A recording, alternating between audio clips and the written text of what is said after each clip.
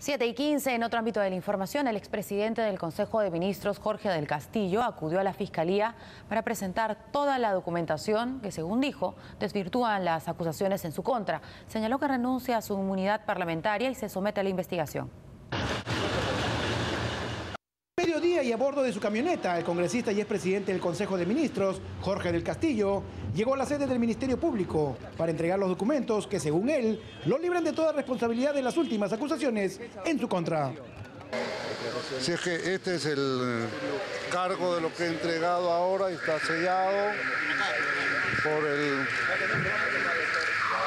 por la mesa de partes y con esto hemos cumplido esta parte del tema. Yo voy a seguir acudiendo a todas las instancias correspondientes.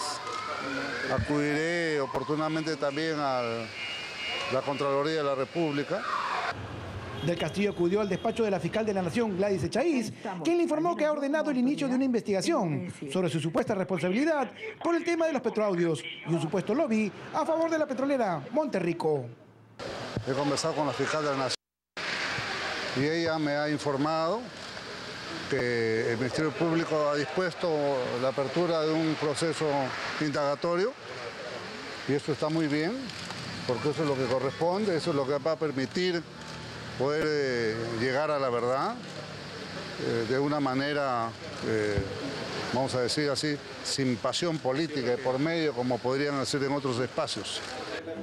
El expresidente del Consejo de Ministros dijo también que renuncia a su inmunidad parlamentaria para garantizar la transparencia de las investigaciones. Yo me someto y como dije, al margen de cualquier inmunidad parlamentaria a la cual renuncio para someterme sin reserva ni limitación alguna a la investigación que realice el Ministerio Público. El esposo de la fiscal de la Nación se ha presentado por bueno, yo ya esa cosa no la discuto. Muchas gracias.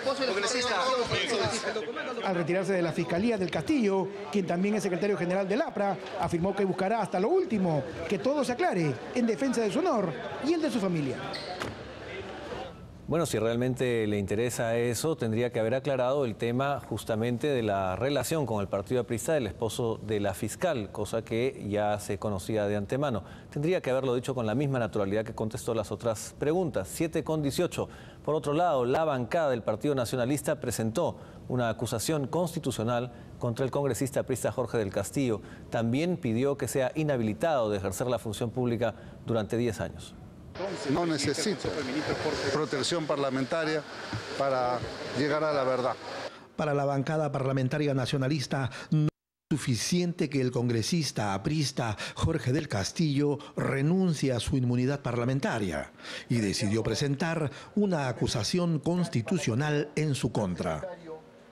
La denuncia, según consta en su pedido, es por la comisión de los delitos de cohecho activo y pasivo, patrocinio ilegal, negociación incompatible o aprovechamiento indebido del cargo, cometidos en el ejercicio de sus funciones cuando era presidente del Consejo de Ministros en el sonado caso de Business Track. En el documento, los nacionalistas solicitan además que del Castillo quede inhabilitado de ejercer cualquier función pública por 10 años.